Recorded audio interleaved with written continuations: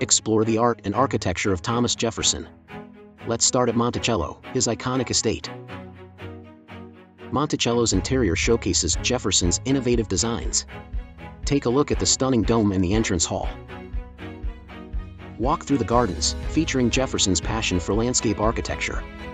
Marvel at the terraced vegetable garden. Now, let's explore other significant works. The Virginia State Capitol is a prime example of Jefferson's architectural influence.